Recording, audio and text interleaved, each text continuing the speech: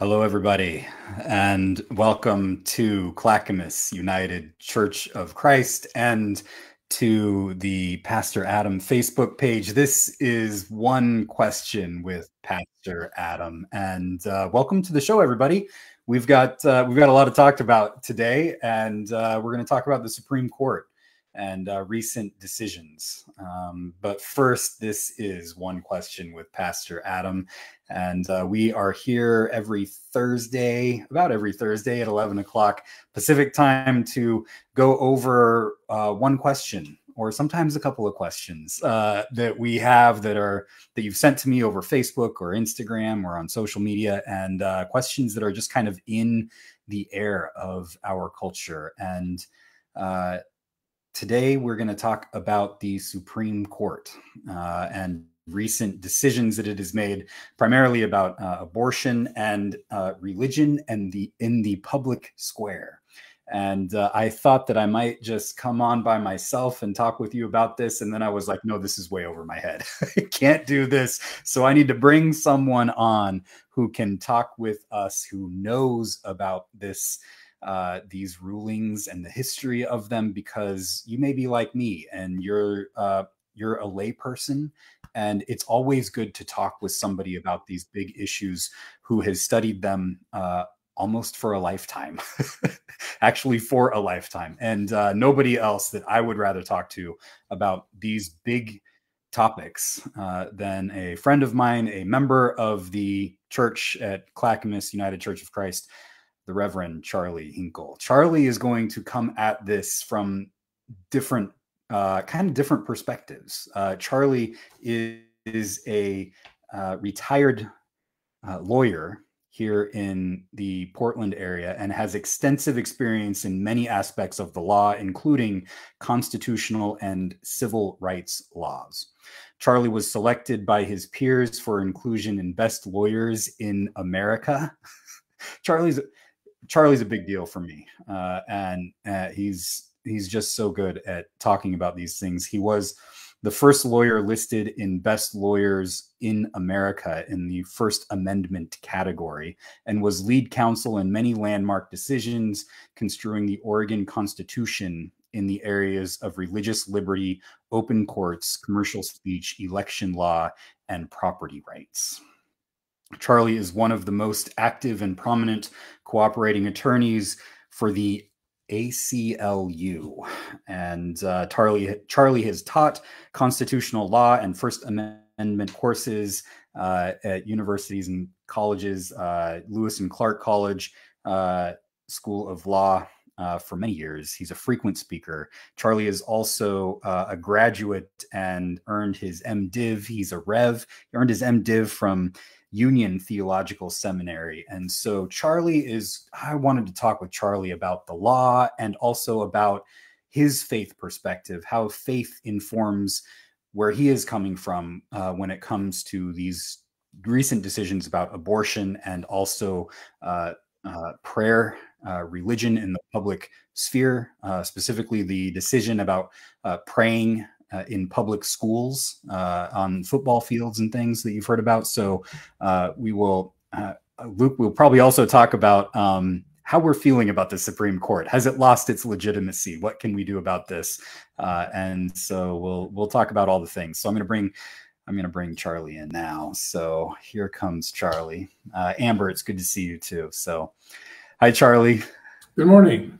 Good morning. Good morning. Good to see you. Thank you for being here. Uh, as I said in the intro, I was like, who am I going to talk to about this? And you were the first person that came to mind. So thank you for being here. It's always uh, it's always good to talk with you about these things. You've spent a lifetime on these topics. So uh, I'm excited uh, to talk with you about them.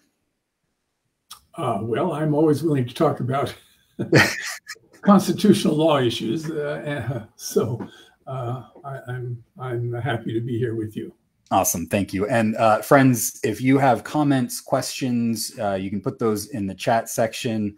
Uh, Luke already has one. Charlie, we might be able to get to this later. Uh, we should abolish the Supreme Court. Luke is Luke is a radical, so we'll, we may get to that. I mean, there is a lot of talk about the Supreme Court losing its uh, legitimacy uh, and uh, maybe all of our institutions are losing its legitimacy in one way or another. But first, I want to talk about uh, Charlie, kind of like if you could give us kind of a primer of uh, Roe versus Wade, abortion in the United States. Uh, we take these topics one at a time, I think would be the best way to do it. So let's start off with uh, Roe versus Wade. Abortion. I read an interesting uh, statistic just this week, because of course the papers have been full of, uh, of uh, talk about abortion in the last week or 10 days. and this the statistic that has been in many of the papers comes from the Guttmacher Institute, which studies reproductive issues and so forth. And they reported last week that one in every four women in America will have an abortion by the time they are 45 years old. One in every four. And that means that every one of us knows someone or knows someone who knows someone who has had an abortion. And thus, it has always been. Abortion is not something new, it's been around for a long time. It's uh, for forever, I'm sure. Um, it has been a crime in most states throughout most of American history. The Oregon territorial legislature made it a crime even, even before Oregon became a state. But it wasn't a, um, it wasn't a law that was enforced uh, uh, very rigorously in Oregon or, or, in many other states for that matter, unless there was a, a, a death of a, of a mother uh, that got involved. But most most abortions were uh, were safe and uh, uh, and were, and were carried out sort of under the radar. You know, you didn't talk about it much, but you also let it happen because it wasn't just something that happened to that horrible woman down the street. It was what happened to your sister, your aunt, your cousin. Uh, it, it happened to every family, and it continues to happen in every family. So it went along under the radar for quite a while in Oregon until a woman named Dorothy McCullough Lee became mayor of Portland uh, right after or soon after World War II. And she had run on a platform of cleaning up Portland because there was too much vice in Portland. And one of the vices that she was particularly exercised about, aside from gay bars, which was her favorite uh, target, but abortion was uh, ranked right up there. And and she persuaded the Multnomah County DA to start bring, bringing prosecutions. And there was a a doctor, and there may be people listening who are of my vintage and who will remember Dr. Buck everybody in high school in Oregon in the 1950s knew, had a friend who had a friend who knew somebody who could get in touch with Dr. Buck. And he was a medical, he was a medical doctor, uh, and he performed quite openly uh, abortions. Hmm. The uh, Mayor Lee didn't like that, and she uh, went after him both criminally and through um, the board of medical examiners to have his license taken away, and his license was taken away in the early early 50s. Um, he continued to practice his uh, hobby, uh, but under the radar even more so. He, uh, Dr. George Buck was his name. He and Ruth Barnett were the two prominent abortion practitioners. Ruth Barnett said that she had performed over 40,000 abortions in Oregon uh, from the 1920s on up through the 1960s. Finally, um, people who shared Mayor Lee's view of this took after her criminally also. And the Oregon Supreme Court decided three cases involving her. She was prosecuted in Clackamas County once and in Multnomah County twice in the 60s, and the Oregon Supreme Court decided all three cases. She, they decided her, against her twice, but in one case they ruled in her favor on the ground that her lawyer should have been allowed to question uh, members of the jury about their religious faith and about what their church or other religious institution, whatever it might have been, what their official position was with respect to abortion. Because that would make a difference. Are you do you have a truly neutral member of the jury, or do you have someone who comes in with a predisposition one way or another because of their religious faith? Mm. And the Oregon Supreme Court said, as we all know, there is a variety of religious opinion on this topic. Lots of people would like you to think that there isn't, but there is. Um, my denomination that I share with you, Adam, the United Church of Christ, just last week reaffirmed its commitment that it's had for 50 years at least, uh, affirming the right of bodily autonomy, affirming the right of personal choice in matters of, uh, of personal medical treatment, including the right to bear a child or to terminate a pregnancy. So our, our denomination stands foursquare behind the right of a woman or any pregnant person to choose uh, to terminate a pregnancy. Now, let me link that to what the US Supreme Court has been doing then. About that same time, that is the 1960s, people began to challenge these laws in, in court. But the first major challenge was to a Connecticut statute that prohibited the use of contraceptives by married couples. Didn't say anything about abortion. But can you believe that? A state, the state of Connecticut felt in the 1960s that it had the right to regulate the conduct of a married couple in their sexual union, in their bed, in their bedrooms. And so it was a crime in Connecticut for a married couple to buy contraceptives. The ACLU decided to bring a test case to challenge that, and it got to the US Supreme Court in, 19, in 1965 in a case called Griswold v. Connecticut. And this case became the landmark bedrock uh, decision of uh, all the subsequent cases involving a right of privacy. And the Supreme Court said in that case uh, almost um, casually. I mean, you know, it said it's kind of hard to take this law seriously, this monumentally stupid, silly law. Uh, and we hereby hold that it violates the federal constitution. Now, there's no right of privacy mentioned in the federal constitution, but the court said there are enough analogies, enough uh, rights listed, many of them centered on the Fourth Amendment, which prohibits unreasonable searches and seizures, which is, after all, a right of privacy. The police can't come into your home to search you. And they said that, and plus this, that, and the other add up to a constitutional right of privacy. That was 1965. Now that there is a constitutional right of privacy, proponents or yes proponents of abortion thought well let's see if what, if that applies to abortion as well and in 1973 the supreme court said yes it did this right of privacy that we have said has constitutional foundations protects a pregnant person's right to choose whether or not to carry a pregnancy to term or to terminate it that was 1973, and that's been the law of the land ever since until last week. Uh, and the Supreme Court has reaffirmed it several times. It has shaded it, it has limited it, it has put this, that, and the other kind of um, uh, interpretation on it. But that fundamental right of a person to choose whether or not to terminate a pregnancy has been in the Constitution since 1973. Clarence Thomas has never liked that decision. I want to read something that Hillary Clinton said last week, this week actually. She said, Thomas is a person motivated by resentment, grievance, and anger.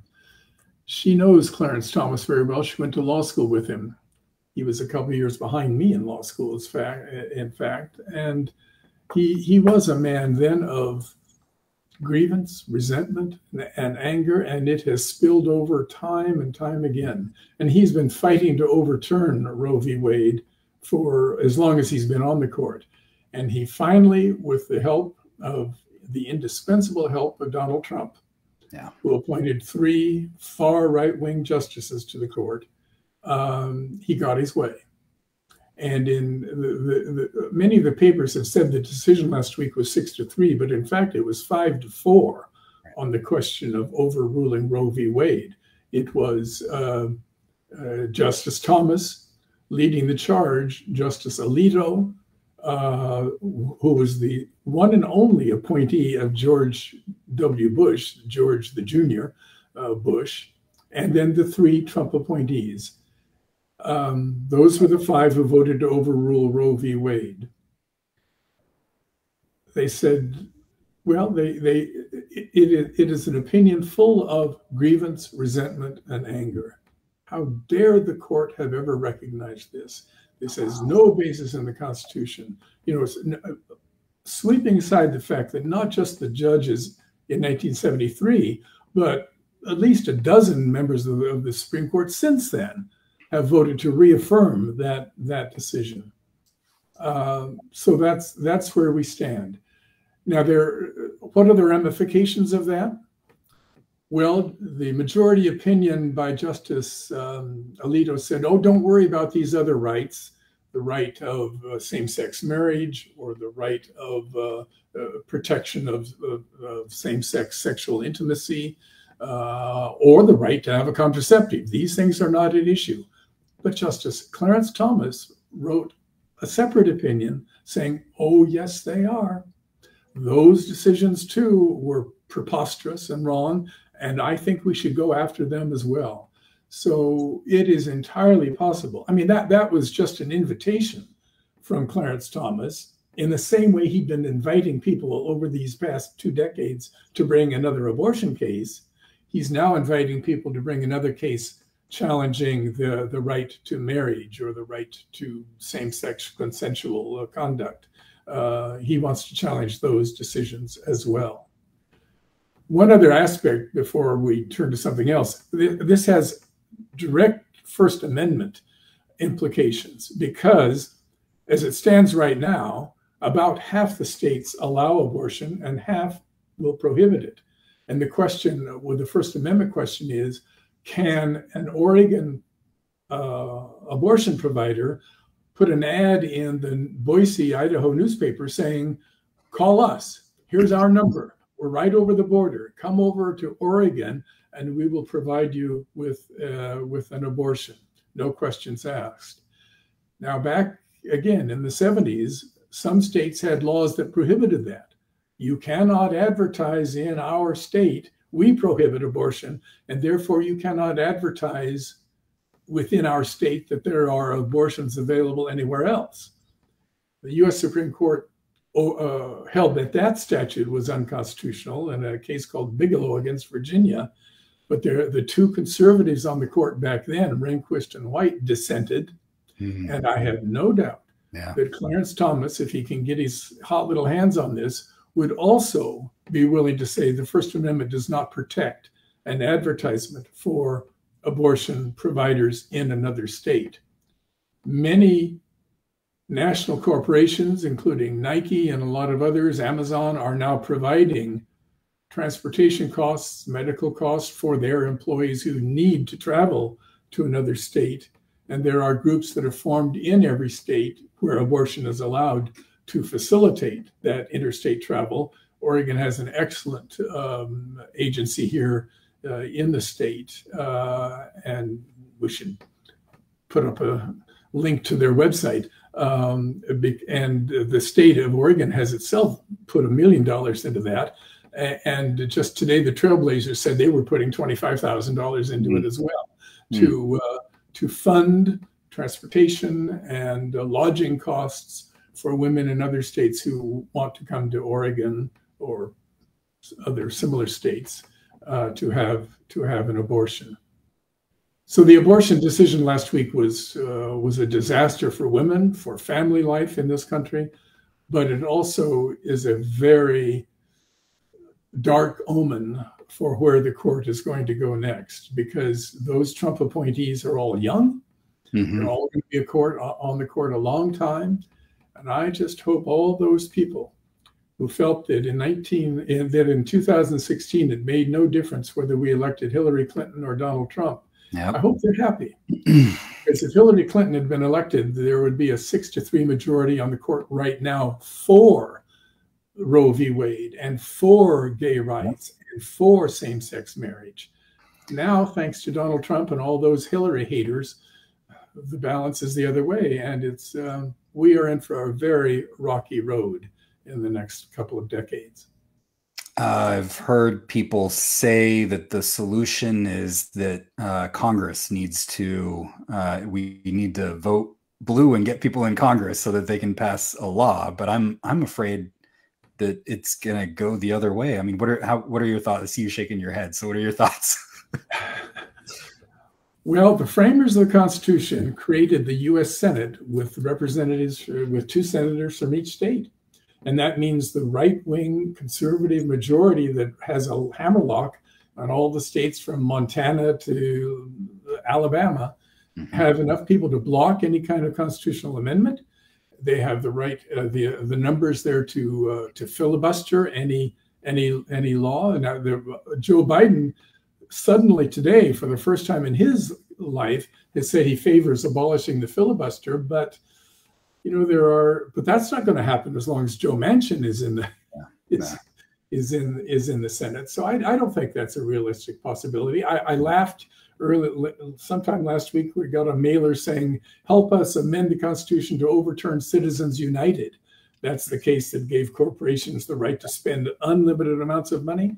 Well you can't amend the constitution without three quarters of the states and there are a quarter of the states plus one, that's all they need to block any kind of liberal amendment to the Constitution. So, yeah, I, I, that's magical thinking. Yeah. I think that we're going to uh, get a legislative fix for this. What hey, do we? Um, what is the fix for this then? Is there a fix for this? no. No. There is no, there is no fix. I mean, that's why I say again, all the all the Hillary haters people yep. like Cornel West, yep. who said, "Oh, there's no difference," and I'm uh, uh, and Hillary Clinton is evil impersonated incarnate, and therefore, uh, you know, uh, we're going to sit on our hands and let Trump be elected. I I hope they're happy. I, I have no respect for people like that. This is because this is because they left us not with this decision this week, right. but with decades of decisions ahead of us. Yep. yep, that's where we are. Gwendolyn asks, uh, can states, this is another one, uh, kind of the First Amendment that you were talking about earlier, but uh, can states keep women from crossing state lines? So you were talking about advertising across state lines. What about uh, women traveling from state right, lines? There, Gwendolyn says that she's from Mississippi. Uh, so this impacts Gwendolyn a big deal. Yeah, that's right. I, th- I, think Mississippi is already considering such a statute if they haven't already enacted it, saying it, will be a crime in, uh, if a woman from Mississippi travels to another state for purposes of abortion. That runs into the Interstate Commerce Clause, uh, which uh, in the federal constitution, which normally says the right, no state can interfere with the right to travel across state lines but I don't underestimate Clarence Thomas's ability to find his way around any precedent that he doesn't like. Um, that Virginia statute that I mentioned, saying you you can't advertise in Virginia that that New York allows abortions. I think Clarence Thomas would say, "Yeah, yeah, man, let's go for it." And so, I, I mean, it's anybody's guess what he will say about a Mississippi statute or any other state statute that says it's a crime to leave our state to seek an abortion elsewhere. I, under current law, such a such a law would be struck down. But when those five justices, yeah, you know, John Roberts, the, the Chief Justice, has lost control of those five right wing justices who are more conservative than he is. He can't control them anymore, and they, I, I who knows? Yeah, uh, this is more magical thinking, but I am trying to grasp at straws here, Charlie. I've seen I've seen some memes about stare decisis. I hadn't. I is that how you say the phrase? Yes, that's right. Yeah, and uh, how when these justices were being interviewed, that they affirmed stare decisis and uh, they were like abortion, Roe versus Wade has been decided on, and uh, I think one of them, uh, Barrett, uh, said, uh, but that doesn't mean that it can't be changed. But the rest of them during their interviews were like, uh, yeah, this is precedent and something to the effect that we're not going to change it. Can we? Can can we? can we kick them out? Is that possible? it goes back to what I just said about the, the, the number of people. It, it, would take the number of senators. It would take a two thirds vote of the Senate to impeach uh, any member, any justice of the Supreme Court. And uh, if that happens, I'll give you my ranch. Okay, sounds good. You know, that's just magical yeah. thinking. They're not yeah. going to be impeached. They are there for life. Uh, and most of them well, I think really all of them, Adam, weaseled enough in their statements that okay. they could not be said to have outright lied. Dissembled? Yes. Shaded the truth? Yes. Told a white lie? Yes. Told a half truth? Yes. But commit perjury? Uh, that's a high bar, and I doubt that uh, they could be uh, convicted of that. The idea, they all did mention precedent, of course. That's the phrase, stare decisis that's a Latin phrase. It just means stand by your decisions. If hmm. that decision came down 10 years ago, by golly, we've got to, we're going to follow it, unless there's a good reason not to. And so Samuel Alito last week spends the first 20 pages of opinion saying, yes, we all believe in stare decisis, except mm. when the earlier decision was transparently wrong. I mean, I forget the number of adjectives he uses to describe Roe v. Wade transparently wrong, disastrous, uh, without foundation, blah, blah, blah. So, and the fact is that hardly a term of the Supreme Court goes by when they don't overrule some prior decision. So it's not at all uncommon for uh, liberal courts or conservative courts to overrule earlier decisions. I, I I've gotten the Oregon Supreme Court to overrule its prior decisions in a couple of cases. So uh, it happens. Now, uh, Gwendolyn's got another question. I read that Plan B can no longer be ordered on Amazon and shipped to my state. Is that legal? Again, from Mississippi. Yeah, no, I mean that that that's that same interstate commerce question. Can yeah. a state regulate that? You know, it, what is the law right now regarding um, fireworks. You know, fireworks are illegal in Oregon, but people drive across the interstate bridge into Vancouver and bring fireworks back all the time. I I don't know if that's is that a crime to cross a state line with bringing a substance that is illegal in the state. Uh, how about firearms?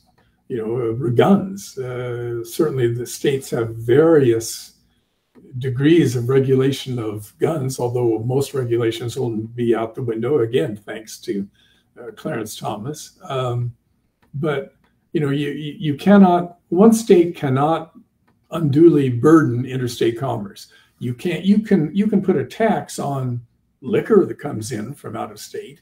Uh, and out of state producers of wine may not like the fact that Oregon taxes their wine, but those those things the court has upheld. But you can't block the importation of of of most substances. And I I think any any any effort to block the sale of contraceptives from another state or Plan B morning after pills, uh, I think. Well, again, under present law, those things are, are, are allowed and, and protected. What Clarence Thomas will do to them if he gets his hands on it, God only knows. Um, Amber is asking you to get in the head of Clarence Thomas. um, not that I want you to do that, Charlie, but uh, she is asking about the birth control and contraception decision and asks why? Why would they want to ban contraception? Uh, well, uh, you know, getting in the head of Clarence Thomas is really an important issue, frankly, because you you you wonder how did he get to this point in his life? Uh, he is, I mean, Hillary Clinton is absolutely right. He's a man of resentment and anger, and he always has been from the days that he was at Yale Law School. He always blamed Yale Law School for being an affirmative action baby, as he put it, because he he was admitted to Yale Law School in the early 1970s when Yale was making a, a concerted effort to get more black students in. Now, I'm not suggesting, and I don't think Yale believed that he was unqualified to sure. get in, but you know, 10 years earlier, he might not have, because there would have been more qualified uh, white people, perhaps, or Asian people, or whatnot. But at the time Clarence Thomas was admitted to Yale Law School, he, he there were 34 uh, black students. They were at that time mostly called African American students in, in, in Yale Law School. And one of the sources of his resentment was that when in, when that class graduated, 32 out of the 34 black law students got jobs with uh, Wall Street law firms or the equivalent uh, high-powered, high-toned uh, corporate law firms. Clarence is one of the two who, who didn't. Mm. But the reason was not that had anything to do with his race; it had to do with his attitude. Mm. And the the the size of his afro and the and, and the clothing that he wore. He wore bib overalls. And mm. there's nothing wrong with having an afro that's a foot high or bib all overalls. But if a white person with an afro like that and wearing bib overalls interviewed at a Wall Street law firm, they wouldn't have gotten a job either. You mm. know, I mean, you you you're aiming at a clientele, and Wall Street banks at that time weren't just weren't prepared. But anyway, he always resented the fact that he believed that he was in in there in Yale, and he didn't belong. And mm. so for 40 years afterwards, he refused to go back to Yale. He finally went back when they when they unveiled a portrait of him, but he made one visit for one afternoon, and that was it. So yeah, and and Samuel Alito was a similar situation, not a black man, obviously, but a person from a minority group, a Roman Catholic Italian son of immigrants uh, or grandson of immigrants who felt aggrieved about how he and his people had been treated. The other, the three Trump appointees are a different story, but the one thing ha- they have in common is that all five of them had very strict Roman Catholic parochial upbringings. And they carry that with them to this day. Amy Barrett is a member of one of the most extremely yeah. right wing conservative Roman Catholic uh, sects. And, uh, you know, she, and these people have no, and this is where we get over into the next topic, mm. these people have no compunction about promoting their faith through their through their uh, uh, court uh, decisions. They haven't they haven't rejected a single claim of religious liberty yet, and um, again, that's Katie bar the door. The the wall of separation between church and state is going to be non-existent uh, uh, within a, a very sh- short time. Oh my God. Uh, Luke uh, says in overturning Roe, that virtually eradicates all right to privacy. Is that, does that seem true? Well, what the majority said is that Roe had no constitutional foundation. It's not mentioned in the Constitution. The right of privacy is not mentioned there and all of its uh, of the uh, of Roe v. Wade of the efforts of the Roe v. Wade court to create, to find, to discover a right of privacy. It's all a house of cards. That's mm-hmm. essentially what they said, and how they can then refrain from applying that same analysis to the right to ban contraceptives or the right to ban gay marriage or the right to ban uh, sodomy I I think those I think it's almost inevitable that those decisions will be uh, will be overruled. Only the hand of God through a fortuitous death. Right. Uh, Dina Dina uh, says something that might also be magical thinking, but this is another uh, way that people have suggested we could solve this by expanding the court. Uh, the court, as I'm sure everyone on here knows, because you study this, you follow it. Uh, the, in our in the 19th century, the court's membership, the number of justices changed. I think it was like nine different times. Mm-hmm. Uh, it started with five, it went to seven, it went to, at one point to 11, I think, and then it and then it went back down to nine. But it but that is purely statutory, and it can be changed students of American history, though, especially modern students, still bear the burden of remembering what Franklin Roosevelt tried to do. Uh, because in the early, in his first term in office, the very conservative U.S. Supreme Court struck down almost every one of his major statutory initiatives uh, uh, as part of the New Deal. They held them unconstitutional on one ground or another. So Roosevelt sent a bill to Congress to expand the court.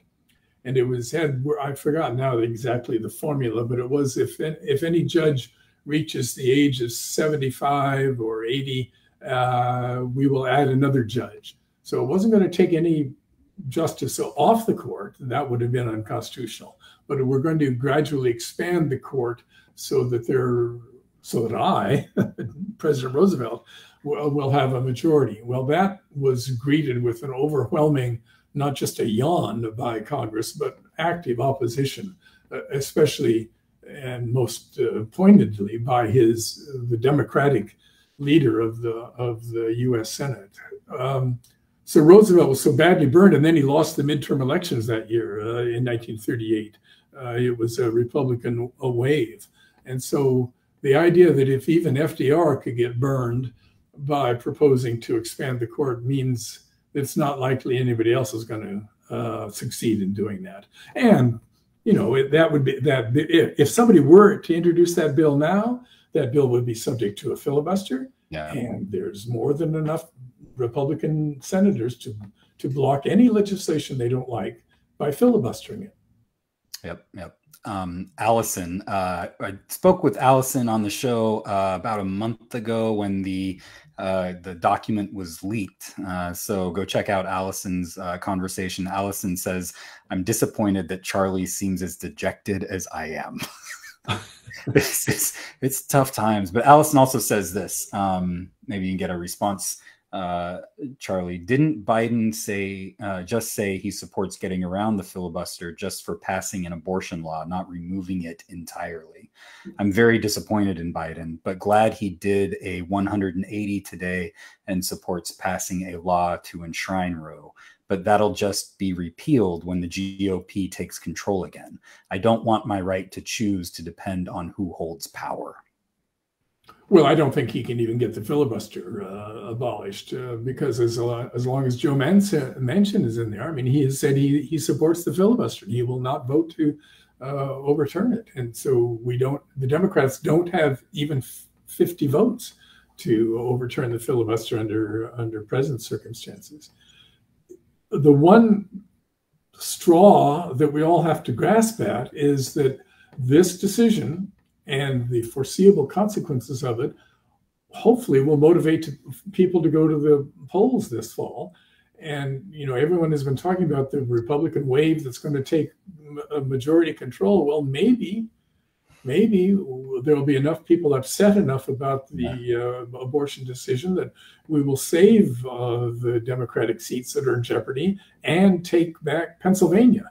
I mean that's that's a republican seat that is now vacant and uh, there's a very strong Democratic candidate, and maybe you know maybe we'll come out of the election next fall with 51 Democrats. Even so, it's going to be uh, touch and go to uh, abolish the filibuster for for uh, Roe v. Wade. And I really wonder, even if they did abolish it, uh, it would would every Democrat be on board to establish right. a, a federal right to abortion? I don't. Yeah. I don't know. Maybe. it's hard to know. Uh, Gwen, Gwendolyn says, and this is we've done this in the history in the United States, uh, and then we'll move on to uh, religion in the public square. But Gwendolyn says we are going to have to go underground and take care of each other with whatever it takes, and that's uh, you know I can remember underground uh, abortion clinics uh, in the history of the United States working this through. So Gwendolyn, we may need to to go in that direction.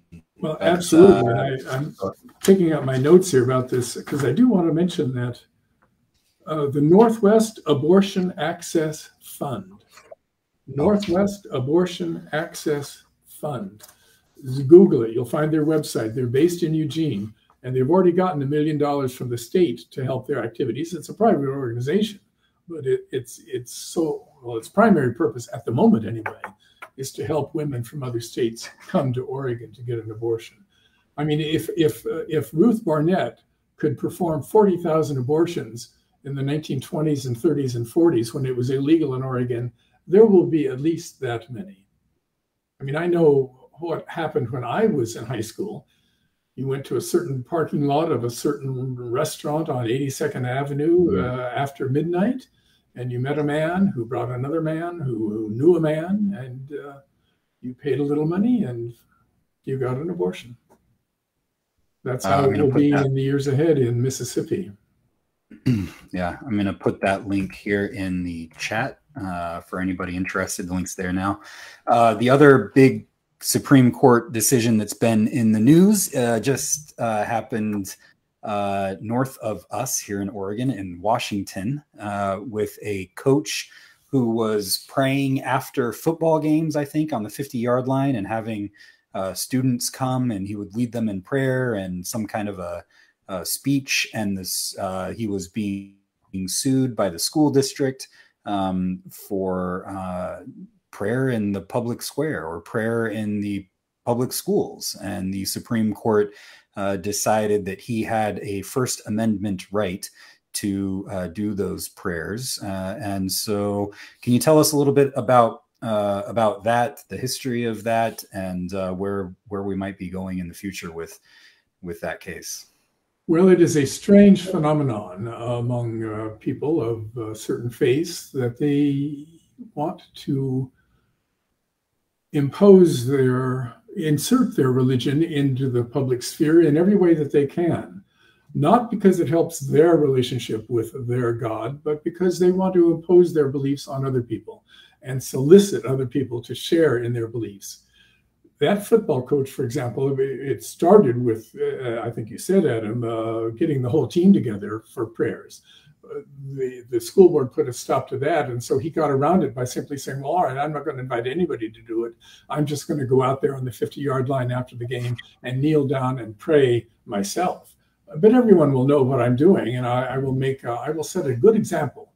Um, and it, it is amazing that people like that have never paid much attention to what Jesus said in, in the Sermon on the Mount when, when he called people like that hypocrites hypocrites who stand on the street corner or stand up in the middle of the synagogue and pray as loud as they can so that everyone can see that they are a religious being who believes in prayer. Mm. Jesus said it's much better to go into your own room and shut the door for God's sake and mm-hmm. pray there behind a closed door. Uh, uh that that those two verses, Matthew 6, 5 and 6, I think it is, must not appear in the Bibles of, of, of these of these people because they they certainly pay no attention to it. There is absolutely no reason that that coach could not go back to the locker room, could not go out to his car, couldn't just walk away praying. But no, it has to be a vocal public prayer. And that's the that was the basis on which the US Supreme Court years ago said that we will we will not tolerate vocal public prayer in public schools in the classroom because that gives the appearance that the school board has endorsed the prayer, that the teacher has endorsed it, that you are an outsider if you don't believe uh, in, in that prayer. And we, we want to avoid the appearance of entangling uh, the secular government, whether it's the school board or the city council or anything else, in, into religious practices. Because the school board and the city council are there to serve all of us, believers and non believers uh, Christians and Jews and Muslims and Wiccans and God knows what else. Uh, and they should be there. Uh, they should feel free to exercise their rights as students or as members of the public and before the city council without any reflection on their religious beliefs. The Supreme Court has been pretty pretty strict in enforcing that. And they upheld uh, maybe 20, 20 25 years ago now the rule against public prayer at a high school graduation. Hmm. That was one of my great victories under the Oregon Constitution. Uh, it, it is still unconstitutional under Oregon to have prayer in the public schools at public school graduation, and that's still the, the law of the whole of the whole land. But not until Clarence Thomas and, and Alito and the three other right-wing Roman Catholics get their hands on it. Those those those statute those court decisions are in very dire jeopardy as well. And we know that because the court has now, in the last few years, decided several decisions relating to public subsidies for religious schools. Um, it used to be a pretty strict rule that you couldn't you couldn't use public money, public taxpayer money, to support a religious institution. Well, the Roman Catholic Church, primarily the Roman Catholic Church, and I, I mean, there's just no way of getting around that. Other other religious organizations too, but the Roman Catholic Church has for decades looked for ways to get public assistance for its parochial schools. And they have tried one scheme after another. The two major ones in Oregon were um, uh, the Eugene School District gave uh, uh, textbooks, loaned textbooks to the uh, parochial schools. And the Oregon Supreme Court in the early 60s said, no, you can't do that under the state constitution because the state Oregon's constitution says no money from the treasury can be spent for the support of any religious institution. And the Oregon Supreme Court said quite sensibly that if you're giving uh, public school textbooks to the Roman Catholic school, you are certainly supporting a religious institution. That case was followed a few years later by an Oregon Court of Appeals decision uh, involving the North Clackamas School District, which which declared that four classrooms in at St. John the Baptist Catholic Church in in Milwaukie are hereby public school classrooms, and we're going to send a public school teacher over there to teach math and science and algebra and, and whatnot, secular subjects. But just by coincidence, they're going to be doing that in in St. John the Baptist Catholic School, and they're going to be teaching Catholic students. And the Oregon Court of Appeals said, no, uh-uh. we're not we're not falling for that little uh, charade. Yeah. So uh, or charade is your preference, maybe. Um, and so those those two laws, those two court decisions are still on the books. We have a very strong separation of church and state in Oregon, but the U.S. Supreme Court has said, and again said it just a few, few weeks ago, that if the state is giving pu- public money to a to private schools, by golly, they have to give it to every private school, even mm-hmm. if it's a religious one. So that may be an opening here for St. John's Catholic Church to try again. You know, to get the Oregon legislature to pass a law saying, well, we're going to give this to all private schools in Oregon it only it happens just so happens that there may be only one secular private school in Oregon, but 99 parochial schools uh, they're now going to get this money. I I don't think that it will happen, but again, as I said a moment ago, the the wall of separation of church and state, which has always been a little bit wobbly, mm-hmm. is now uh, teetering on its last legs. These people want, you know, it's always puzzled me they have a belief in a God who seems to hear hear prayers only if they are orally, verbally uttered out loud. A public school student can't pray silently at his desk. God doesn't hear that prayer. you got to say it out loud. I, it's a it's a puzzling view of God that they believe, it, and of course they don't believe it because their goal is not to pray to God. Their goal is to have everybody else listen to their prayers and be influenced by them. If somebody wants to pray, pray at a public high school graduation, more power to them. Let them pray all night long. But if they want to get up there on the podium and pray, it's because they want the audience to hear their prayers, not God. Yes, and you know that's true because Dina says, and it's the Christian God, right? Oh, oh absolutely. It, it absolutely. feels to me like there's a that the right wing Christians are wanting a theocracy. They don't want. Oh. Feels to me they don't want democracy anymore. They're moving away from it and moving towards a theocracy. Uh, Dina says, "Wait till a Muslim or a Satanist tries to pray in these in these schools in these public places." Right? That they're not going to let that happen. Yeah, I'd like to see what happened if if if that uh, football coach took his little uh, prayer shawl and prayer rug and and bowed to Allah uh, at the uh, during halftime. Or if one of his students comes in and says, "I'm yes. going to pray to Satan, and I want all of you to come and be with me as I pray to Satan," how that's going to go? Thank you for that, Dina. Um, there are some uh, comments in here uh, about um, fears, like I'm saying that they want a theocracy, uh, not a democracy. Uh, where is this going to end? Uh, are we at the start of a cold civil war? Um, where are we going with all of these big issues uh, in our culture? Um, it's kind of it's scary to think about. Um, well, you do hear people talk all the time about how this is a Christian nation founded on Christian principles, and we we're we're just reaffirming that. That's why it was. I think it was the Eagles, the that uh, fraternal organization in the 1950s, right when when the movie with Charlton Heston came out, The Ten Commandments. Yep. The Eagles offered to put up Ten Commandments monument, monuments in every public square in the whole country, and they put up hundreds of them. Uh, and that's why you find Ten Commandments monuments in uh, Podunk, Idaho, and uh, I don't know how many there are in Oregon. Not too many. I, in fact, I don't know that I've ever seen one. But in the rest of the country, they are uh, they are a dime a dozen, and it's thanks to the Eagles.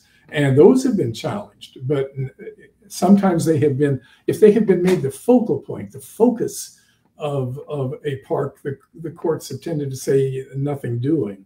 But if they're there in among other other symbols of other faiths or uh, other symbols of other kinds of things, then then maybe they're all okay.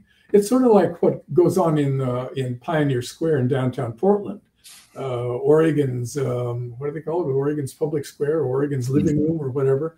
Can can you allow religious uh, observances there?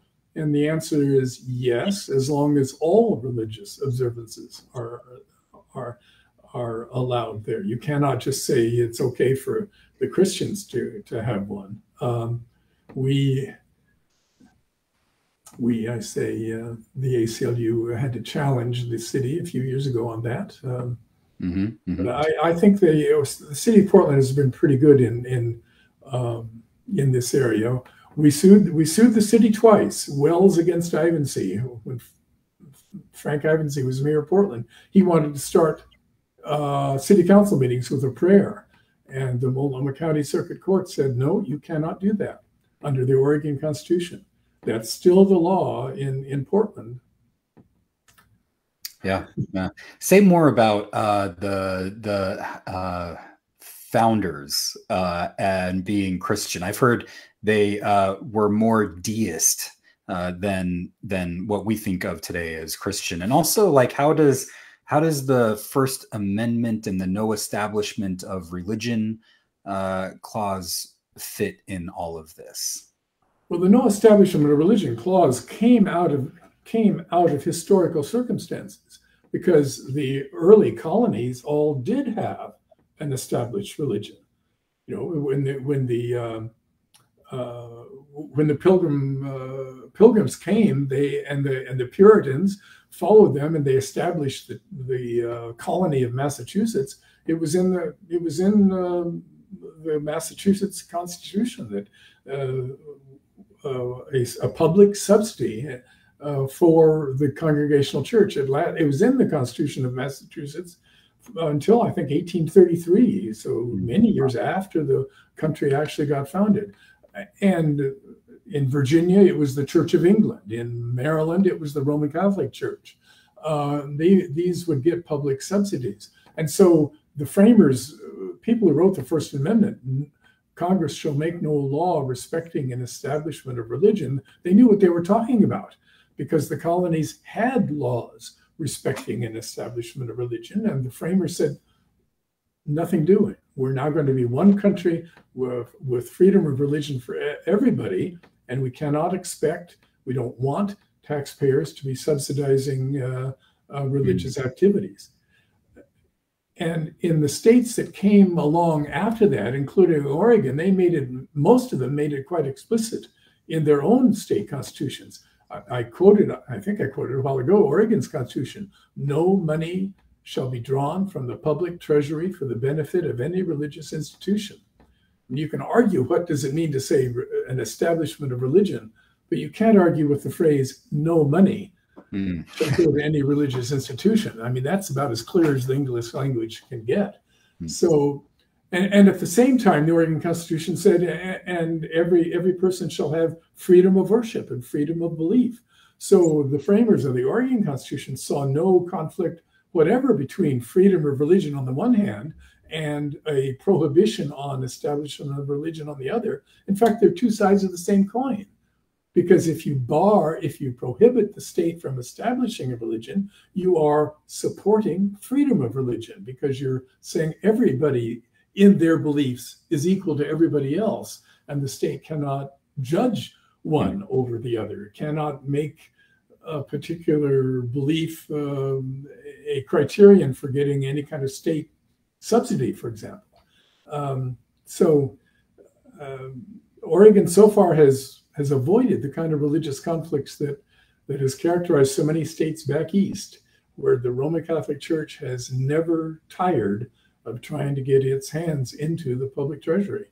Mm-hmm. What, what about this uh, view of the uh, founding fathers uh, being Christian or being deist, like Thomas oh, Jefferson? We know that Thomas Jefferson. Right. I mean, uh, uh, uh. John Adams said quite specifically, "We are not a Christian nation, and we were never intended to be a Christian nation." And you can find quotations from many of the of the founding fathers to that same effect. I don't think they can cite a single member of the Constitutional Convention who who said we want we want to have a we want to have a government that establishes religion. I mean, they were they were rebelling against the Church of England after all. They were rebelling against King George uh, and the established religion of, of his day, which is still the established religion in in uh, the United Kingdom. You know, the, the government still subsidizes of the Church of England. And the framers of the of the U.S. Constitution said said no, we're not. We're we've rebelled against that, and we have some colonies that are this religion and some colonies that are that religion, and there are. We all remember what happened to Roger Williams when he was forced out of uh, Massachusetts and he had to go to uh, found, found, create a new colony called Rhode Island in order to have the Baptist religion freedom to uh, practice that religion. I, we don't want that. We don't want that religious strife. Nobody can wave a magic wand and eliminate magic strife. And there were Bible riots in Philadelphia up and through the 1840s. Uh, which Bible are we going to read in the public schools? The Catholics wanted their Bible, the Protestants wanted their Bible. There were literally riots in the streets of Philadelphia, and I think people were killed over over which which Bible should be read, and that, and the or, framers of the Oregon Constitution were reacting against that too. Wow. Uh, we want absolute neutrality. We don't. We want to get away from this religious strife, and and I think that was the, the predominant, if not the universal, opinion of the framers of the U.S. Constitution too. They didn't make the language explicit enough for Clarence Thomas, apparently. Um, and it's too bad they didn't say more expressly no money no public funds shall ever go to support a, a religious denomination. No. Instead, they said no establishment of religion. Well, Clarence Thomas might say, well, all that meant was we're not going to have do what Massachusetts did and have a public subsidy for a particular church.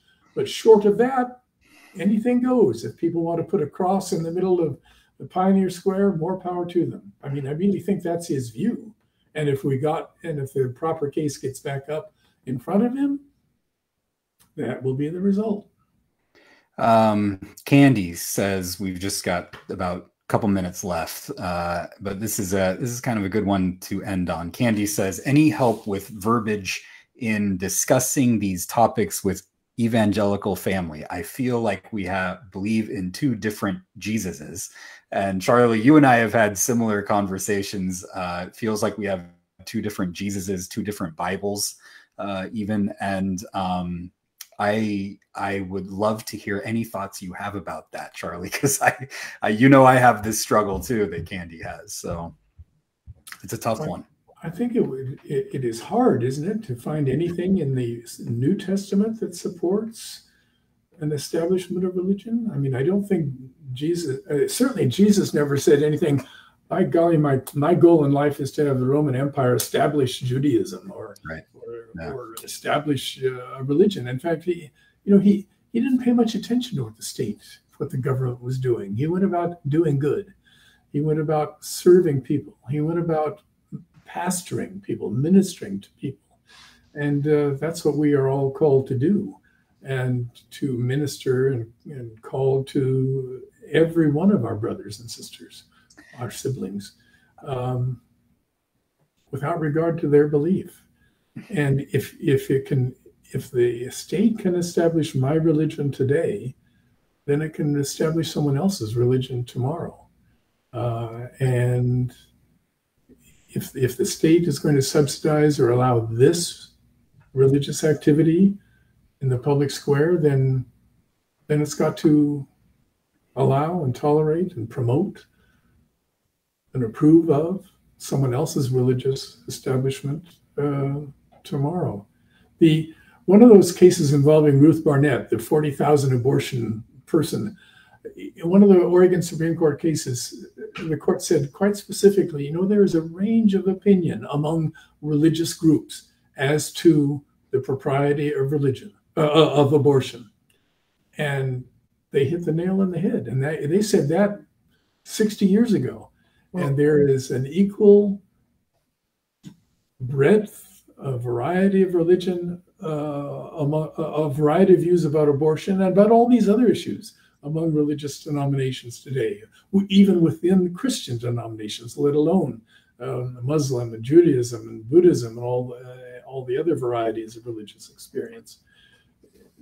We are a nation of variety uh, and a nation of immigrants, uh, except for indigenous peoples. Yeah. And we, we, most of us rejoice in that and are grateful for that and are products of that, for that matter. Um, none of us white folk are natives here. Right, right. And none uh, of our religions are native here. They were all imported. You are reminding me of articles that I have seen on social media from my Jewish friends who say that it is part of their religion uh, to be able to have an abortion when it is needed. Is there any way, this is maybe magical thinking again, is there any way that we could do a like, uh, abortion is sometimes necessary. My oh, religion. Yes, like this is a First Amendment practice of your religion to yes. get an abortion yes. in certain circumstances, including maybe even a woman or uh, somebody who is pregnant, uh, their mental health. This is this is what our religion uh, tells us to do. Is yes. it could that that could be an argument for somebody having an abortion is a First Amendment practice of religion clause. Yes, and it's not just a peripheral uh, uh, religious belief; it is a central commandment of, uh, of of least some branches of Judaism that you must you must act to save the woman's life in those circumstances. You know, I mean, there's such an inherent inconsistency with uh, the anti-abortionist argument on, on these points. I, I mean, they're all over the map on this. But if if their central view is you must preserve the life of the fetus no matter what, well, then that doesn't that mean that you must prever- preserve the embryo as well, and that you must ban abortion from the very moment of conception, and you cannot act uh, you cannot make exceptions for rape or incest because, after all, the baby in the womb is just as innocent, regardless of who his or her father is.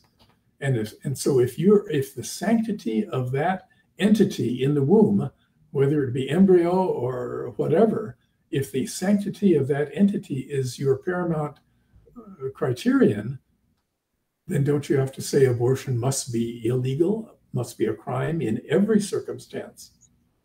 And mm. yet few of their few of them are willing to go that far. Yeah, yeah.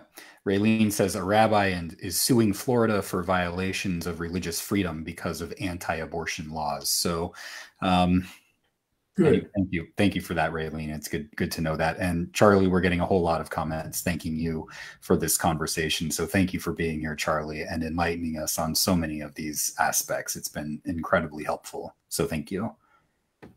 Thank you for having me.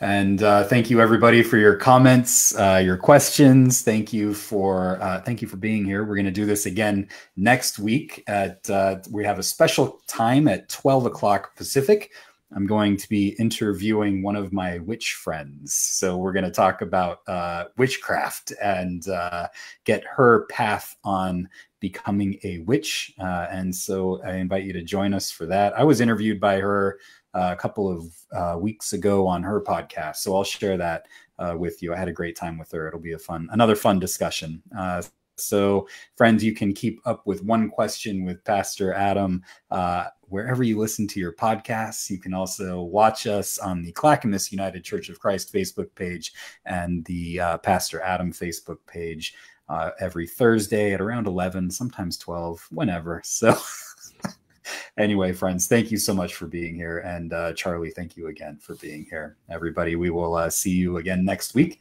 Until then, God be with you.